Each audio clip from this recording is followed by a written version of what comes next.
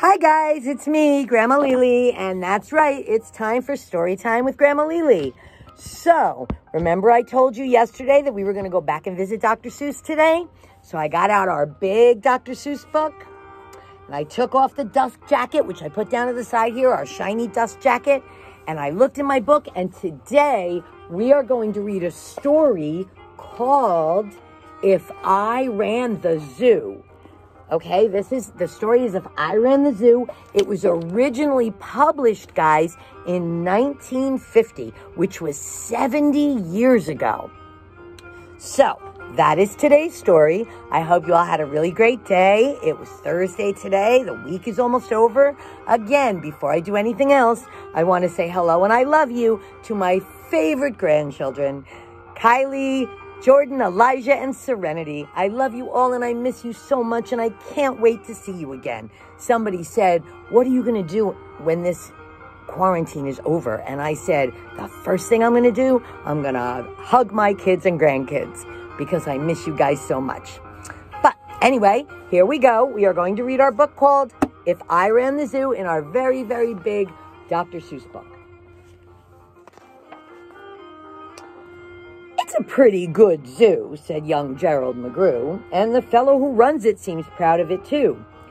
But if I ran the zoo, said young Gerald McGrew, I'd make a few changes. That's just what I'd do. The lions and tigers and that kind of stuff they have up here now are not quite good enough. You see things like these in just any old zoo. They're awfully old fashioned. I want something new.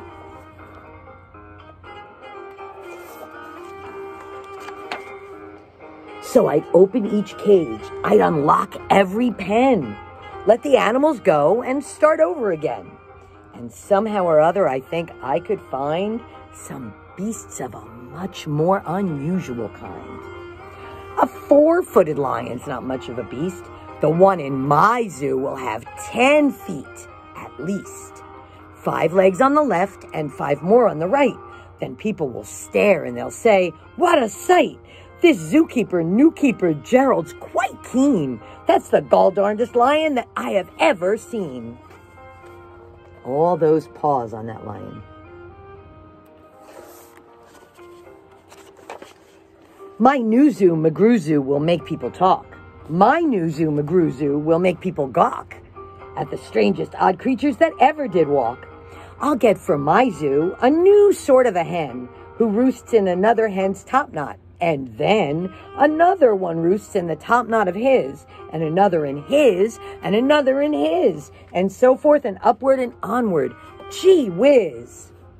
But that's just a start. I'll do better than that. They'll see me next day in my zookeeper's hat, coming into my zoo with an elephant cat.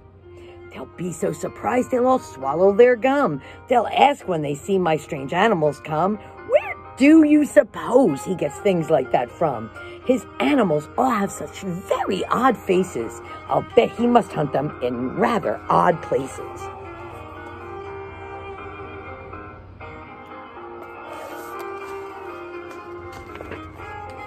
And that's what I'll do, said young Gerald McGrew.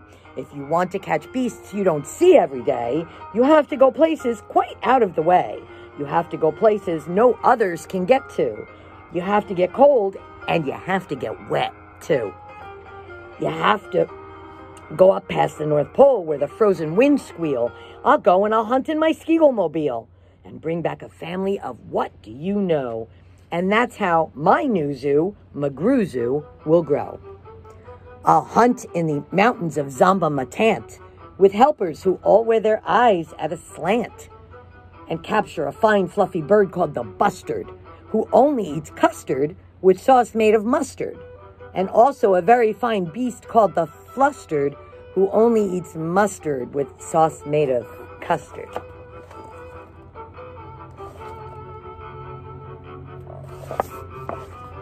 I don't know if I'd like either of those things. I'll catch them in caves and I'll catch them in brooks. I'll catch them in crannies. I'll catch them in nooks that you don't read about in geography books.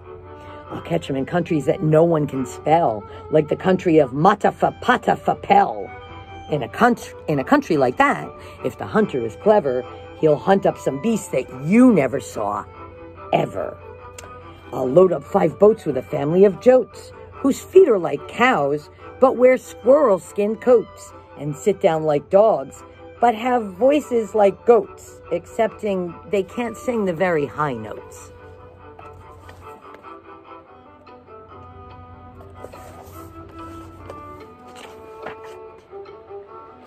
And then I'll go down to the wilds of Nantucket and capture a family of lunks in a bucket. Then people will say, now I like that boy heaps. His new, goo, new zoo, McGrew Zoo, is growing by leaps. He captures them wild and he captures them meek. He captures them slim and he captures them sleek. What do you suppose he will capture next week? I'll capture one tiny. I'll capture one cute. I'll capture a deer that no hunter would shoot. A deer that's so nice he could sleep in your bed if it weren't for those horns that he has on his head.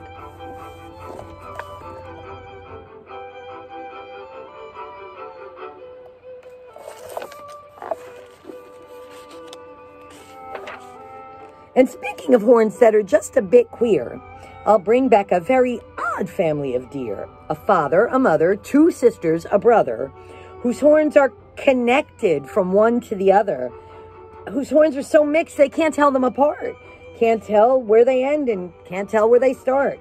Each deer's mighty puzzled. He's never yet found if his horns are hers or the other way round. I'll capture them fat and I'll capture them scrawny. I'll capture a scraggle foot mulligatawny, a high stepping animal fast as the wind from the blistering sands of the desert of Zind. This beast is the beast that the brave chieftains ride when they want to go fast to find some place to hide. A mulligatawny is fine for my zoo, and so is a chieftain. I'll bring one back too.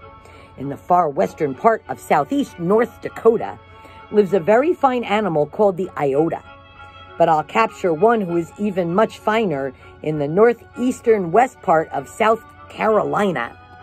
When people see him, they will say, Now by thunder, this new zoo, McGrew Zoo, is really a wonder.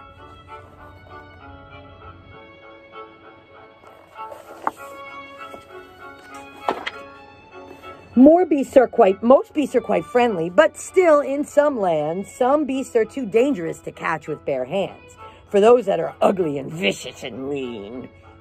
I'll build a bad animal catching machine. It's rather expensive to build such a kit, but with it a hunter can never get bit. A zoo should have bugs, so I'll capture a thwerl, whose legs are snarled up in a terrible snarl. And then I'll go out and I'll capture some chugs, some keen shooter, mean shooter, bean shooter bugs. I'll go to the African island of Yerka and bring back a tizzle-topped tufted mazurka, a kind of canary with quite a tall throat. His neck is so long, if he swallows an oat for breakfast the first day of April, they say, it has to go down such a very long way that it gets to his stomach the 15th of May. Wow, that's a long time for something to get from someone's mouth to their stomach. That's longer even, that's almost as long as we've been in quarantine. I'll bag a big bug who is very surprising. A feller who has a propeller for rising and zooming across, making cross-country hops from Texas to Boston with only two stops. Now that sort of thing for a bug is just tops. And when I've caught him, then the next thing you know, I'll go and I'll capture a wild tic-tac-toe with X's that win and with zeros that lose. He'll look mighty good in that zoo of McGrew's. I'll bring back a gusset, a gir gherkin, a gasket, and also a gooch from the winds of Nantasket. And eight Persian princes will carry the basket. But what their names are, I don't know, so don't ask it. In a cave in Khartoum lives a beast called the Natch that no other hunter's been able to catch. He's hidden for years in his cave with a pout, and no one's been able to make him come out but I'll coax him out with a wonderful meal that's cooked in my, by my cooks in my cooker mobile. They'll fix up a dish that is just to his taste. Three chicken croquettes made of library paste, then sprinkled with peanut shucks pickled and spiced, then baked at 600 degrees, and then iced. It's mighty hard cooking to cook up such feasts, but that's how the New Zoo, McGrew Zoo gets beasts.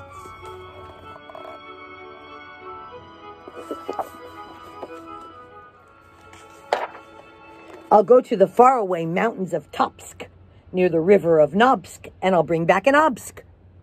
A sort of a thingamabobsk of a who only eats rhubarb, rhubarb and corn on the Kopsk. Then people will flock to my zoo in a Mopsk. McGrew, they will say, does a wonderful jobsk. He hunts with such vim and he humps with su- hunts with such vigor. His new zoo, McGrew Zoo, gets bigger and bigger. And speaking of birds, there's the Russian Paluski, whose head ski is red ski and belly Belsky is blue ski.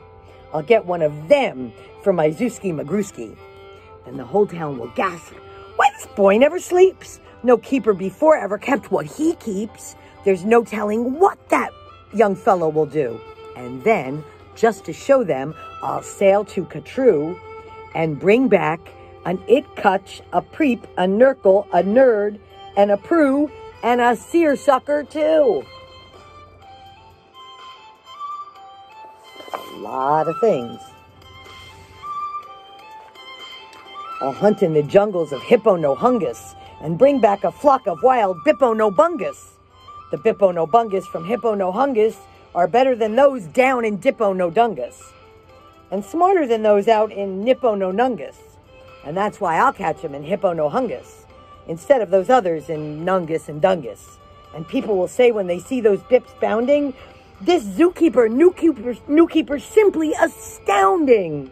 He travels so far that you'd think he would drop. When do you suppose this young fellow will stop? Stop? Well, I should. But I won't stop until I've captured the Fizza-ma-Wizza-ma-Dill, the world's biggest bird from the island of Gwark, who eats only pine trees and spits out the bark.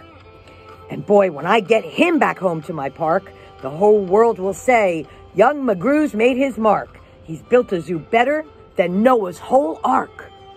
These wonderful, marvelous beasts that he chooses has made him the greatest of all the McGrewses.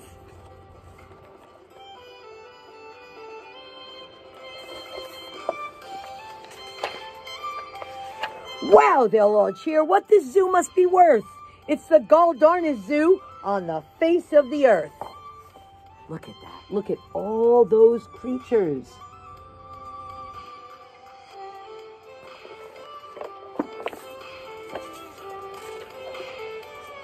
Yes, that's what I'd do, said young Gerald McGrew.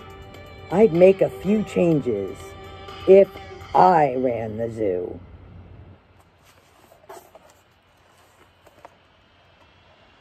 The end. And on this page, guys, you can see that here are some animals that Dr. Seuss made up that don't really exist. Dr. Seuss has a lot of creatures that he makes up and some of them are, are, are funny and some of them are silly and all of them are, excuse me, pretty cool. And I'm bending over because I am picking up my dust jacket and I'm going to put it back on my book, Your Favorite Seuss. Tomorrow, we are going to read another story and I don't know what it will be yet, but remember, guys, if there is a particular storybook that you like and you want Grandma Lili to read it, just let me know, let your moms know.